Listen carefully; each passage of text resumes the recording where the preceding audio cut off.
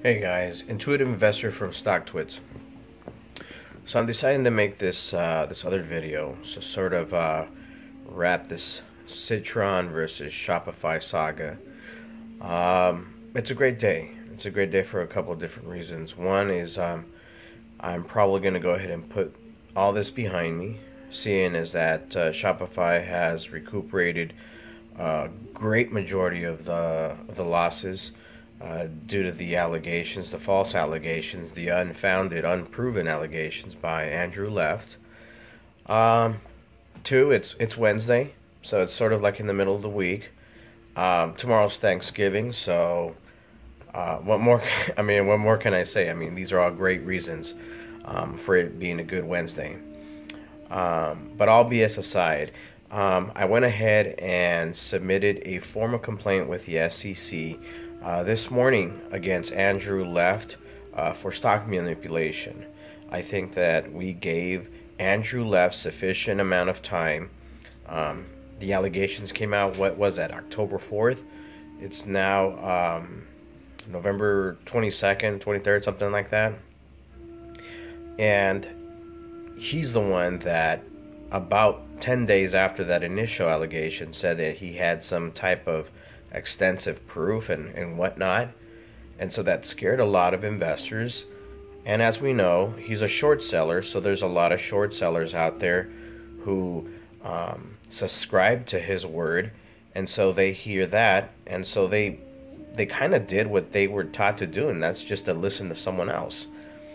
And so that created a bear raid, which is again a second illegal practice in the eyes of the SEC.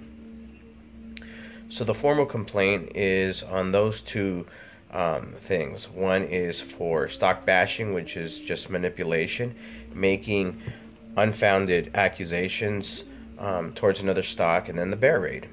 So everything's in the hands of the SEC. I provided them with all the details, facts, dates of information in which he made these allegations.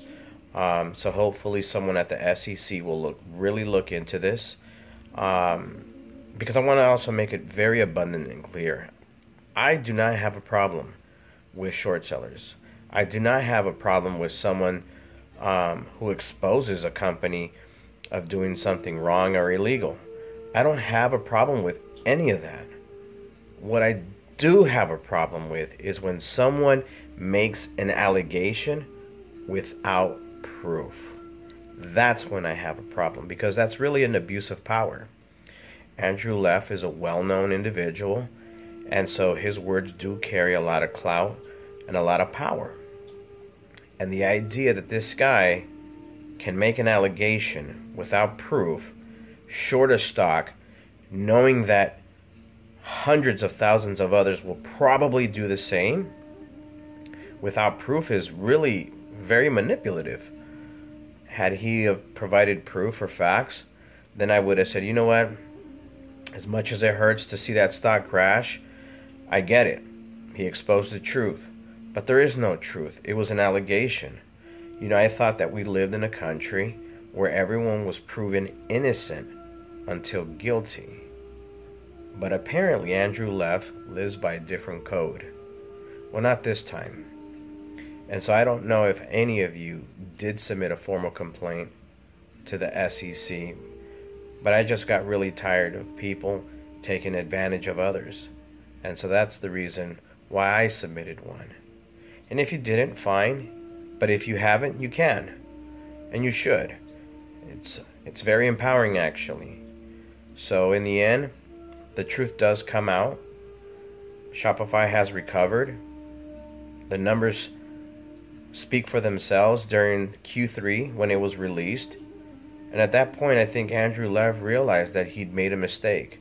He thought that we were going to roll over just like the other companies have rolled over. Not this time. So I hope the SEC does the right thing and investigates his practices so that in the future, if a person wants to submit their own analysis about a company or wants to short sell a company, that they should provide numbers. They should provide facts.